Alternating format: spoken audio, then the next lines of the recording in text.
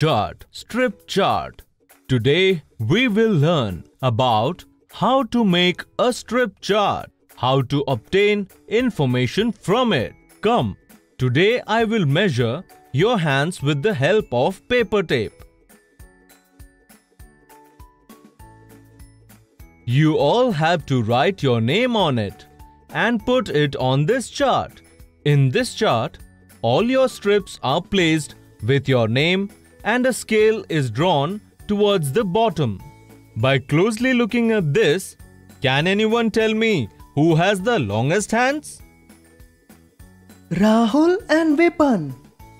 How long? 14 centimeter. Absolutely right. Can anyone identify the hands which is less than 11 centimeter in length? Satish and Hari's. Yes, absolutely right. My hand is the smallest of all. Brother, let's make some more strip charts. Sure. Look at these strips.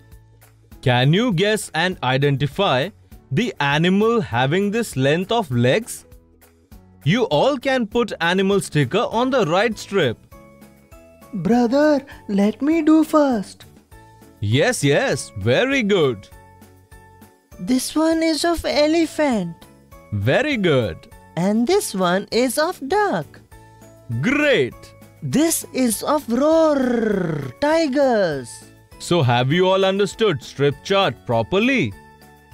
Yes, brother. Brother, what are you making for so long? I have made a big chart for you. What will we do with this? Now all of you have to measure a strand of your hair and tell me the length. Vipin, tell me, what is the length of your hair strand? 4 centimeter. And yours, Hari? Hmm, 3 centimeters. So, who has the lengthiest hair? Mine. How long is your hair from Hari's? 1 centimeter. Vipin, go get a nice haircut. Today, we have learnt about how to make a strip chart and how to obtain information from it.